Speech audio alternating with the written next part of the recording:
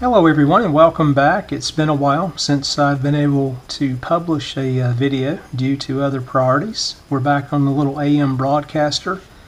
You guys uh, saw a little sneak preview of this in a uh, previous video a month or so back. Uses a little JFET uh, op amp and no tuning condenser or capacitor as you notice. Nothing more than a uh, high precision uh, variable resistor here to uh, tune. Not across the entire band. Performance is better on the low end. Uses uh, two 9 volt batteries. Again, it's a uh, split uh, rail, so we've got a plus 9, negative 9 input.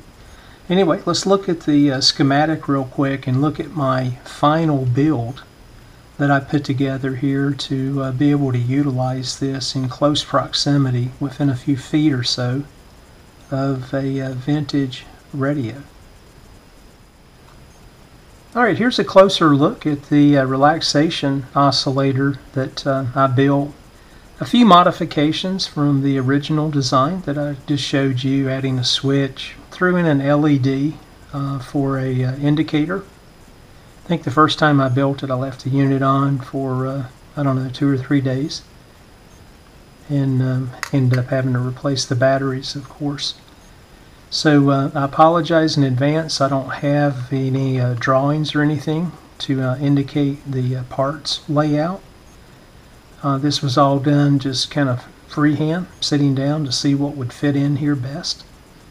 But uh, you can see here I've got the adjustable precision resistor my capacitor, and we'll talk about that in just a minute, is a 330 picofarad. If you look at the design, if you'll uh, do some searches on relaxation oscillators, and I'll put a link for the uh, particular one that I used when I did this design in the uh, description of the video.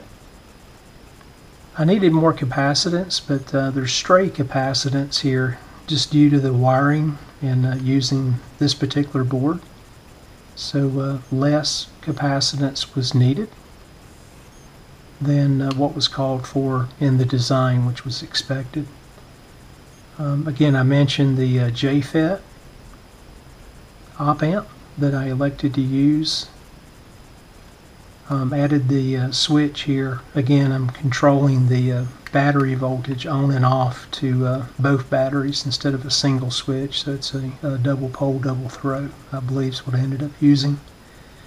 Uh, you can see I've got my uh, audio connection here. And what I like about this unit, let me flip it over and see if I can keep the batteries in. I think you guys will uh, appreciate this. You saw it there when I introduced the uh, video.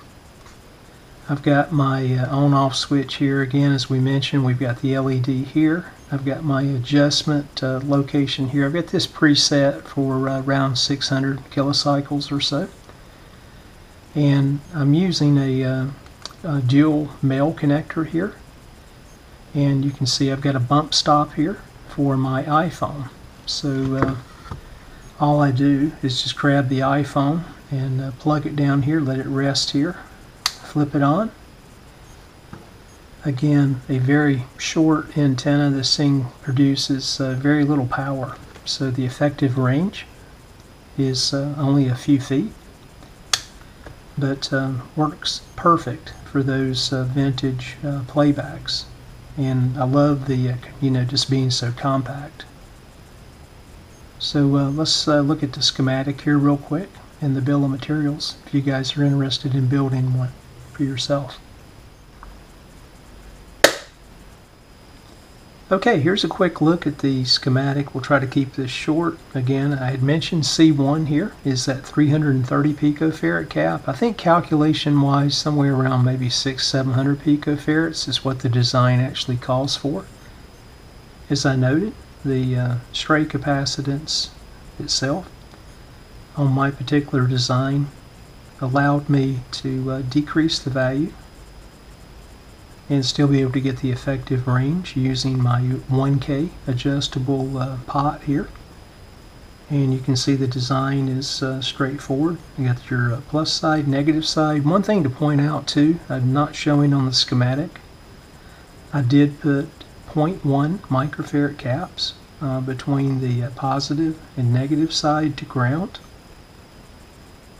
And everything else is pretty straightforward. R1, R2, common values at 1.5K. So easy to come by. C3, my audio input, goes right back to the offset null of the uh, LF351 or 311. I, again, I used uh, JFETs in both cases for my design. Equal performance. And uh, the C3 is a 1 microfarad cap. Audio input requirements are very minimal, so um, I didn't measure, but uh, I've got my volume on my iPhone about uh, maybe a third of the way up to drive a uh, comparable audio output to an adjacent uh, AM station.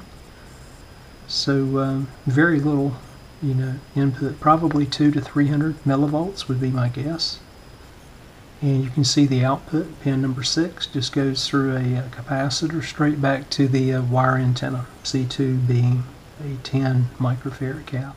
I'll zoom in here on the uh, parts list as well. So you guys will have that for reference. So just in case you decide to uh, build one for yourself.